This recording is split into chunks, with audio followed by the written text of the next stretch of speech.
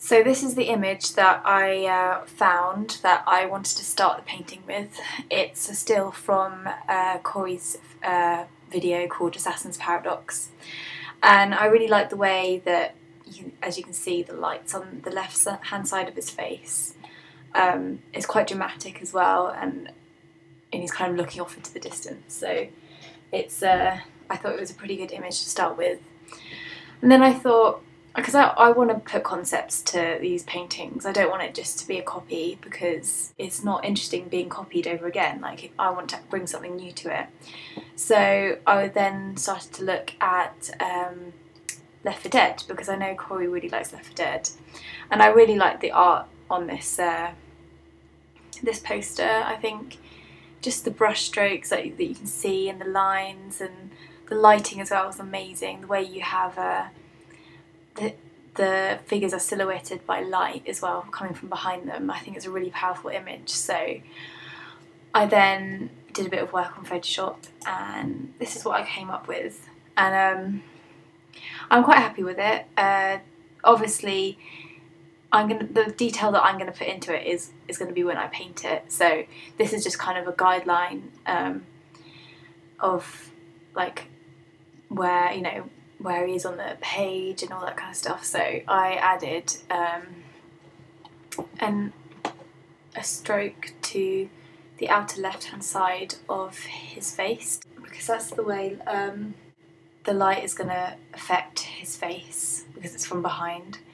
Um, I also added some zombies in the background just just in case you didn't get it was Left 4 Dead, you know. It's a bit of a giveaway now.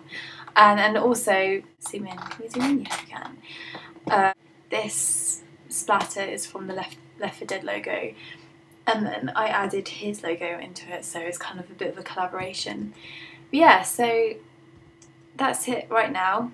So I've been getting really into this painting and forgetting to do updates. So if you're wondering why I'm quiet, it's because it's really late at night but I wanted to do this before I forgot. I went through a stage of wanting to throw this away and then I got the eyes done and I was a lot more happy with it so need to finish off the skin especially down here. I've never painted a beard before I don't think so that's going to be interesting. So it's day two and I'm working on the t-shirt now. The face is pretty much finished, although I'm not entirely sure whether I'm happy with the eyes. But I might add a bit more shadow to them, I'm not sure. The beard was kind of quite nerve-wracking because obviously I did the skin first and the colour of the beard is kind of like a bluish green. It's weird. Um, but obviously that's what the lighting is like in um, the painting, so it's got everything's going to look a, little bit bluer. But yeah, so putting that on the skin was really nerve wracking because I was thinking, oh god, am I ruining it? But actually, I'm happy with the way it turned out because I've never really done stubble before, so I'm quite happy with that. So yeah, just I'm um, working on the t-shirt now. It's going to be pretty simple because it's like a bluish black, and I just need to add like highlight in certain places, like here and on the shoulder, and probably like there as well yeah, and then I'm to start the background, and I think I'll probably be finished today. I'm quite surprised at how quickly I've done it, but I'm quite happy with it, so yay! Done the background. I think I'm pretty much done with that, and um, all that's left to do is the Left 4 Dead splatter with Cory's logo in it, and I'm going to do a border as well because there's um, in the Left 4 Dead poster image there is a border.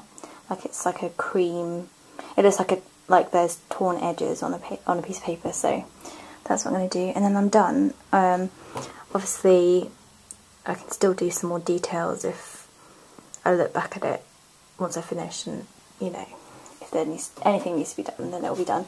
I just realised I've been a bit of an idiot. Um, you know how I was saying I colour corrected uh, the original image, I didn't realise that when I colour corrected it, Cory's eyes were blue and they're actually kind of a browny green. Okay, that was easier than I thought. they look normal now. And you know what?